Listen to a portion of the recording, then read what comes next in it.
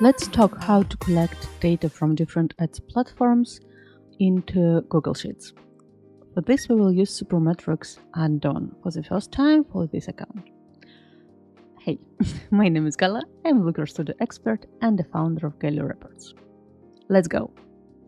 I already created Google Sheets and uh, let's install Supermetrics add-on to this document and to this account in general.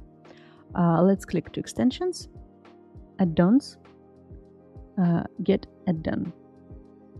Mm, we will have a window. Uh, I already have Supermetrics here in the, but um, yeah, you type it in a search box. Supermetrics, you find Supermetrics add-on.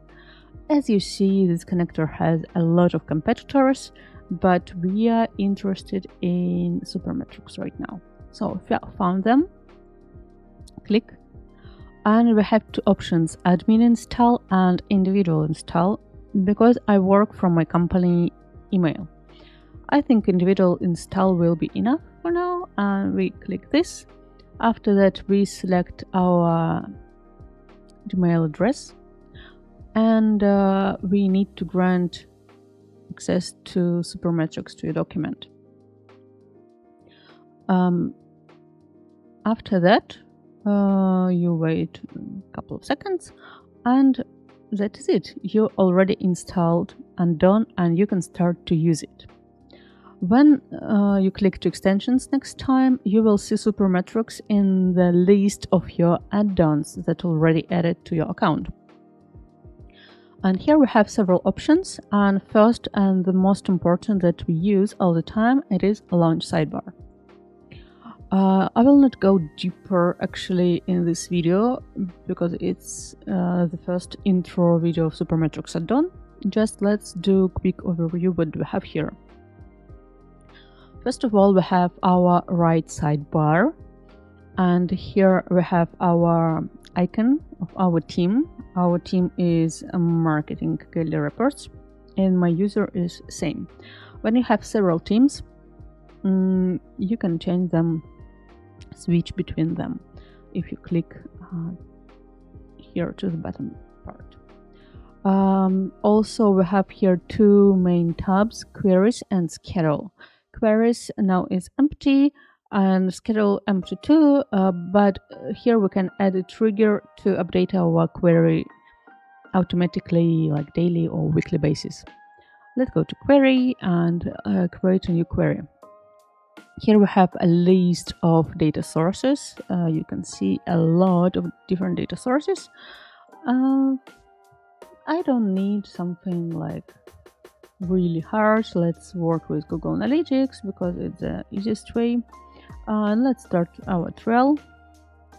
when we start trail, uh, we have this uh, separate tab uh, where we need to log in to our Google Analytics account and again grant access to Supermetrics. We change nothing, just click to allow, uh, that is it. Okay. Success. Uh, if you saw, I had a small tab we, where I we can write that I have 14 days free trial.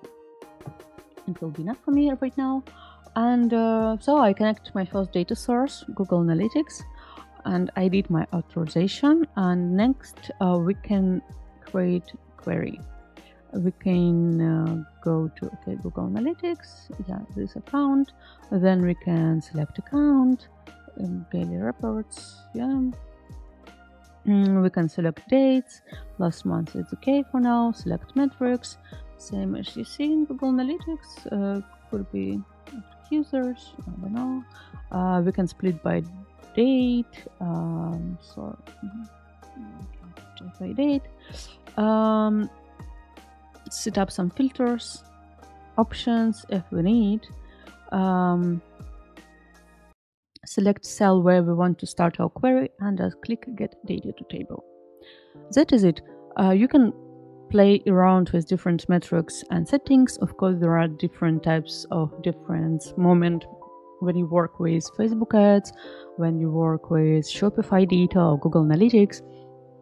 But generally speaking, that is it. We installed Supermetrics add-on and we got our first query. And if you repeat these actions after me, you did already a great job. Now play around and good luck with your experiments with Supermetrics add-on.